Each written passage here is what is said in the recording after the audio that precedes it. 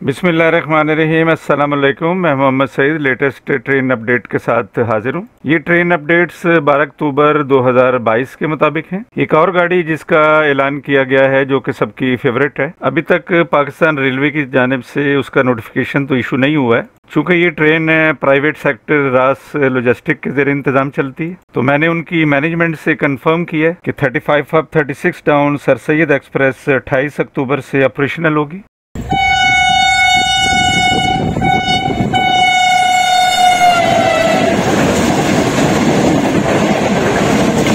तो अट्ठाईस अक्टूबर से आप इसकी रिजर्वेशन करवा सकते हैं। और स्क्रीन पे जो आप गाड़ी देख रहे हैं thirty six down sir Syed express है। मजीद अपडेट्स के लिए चैनल को सब्सक्राइब करें। ये वीडियो पसंद आए तो इसे लाइक और शेयर करें।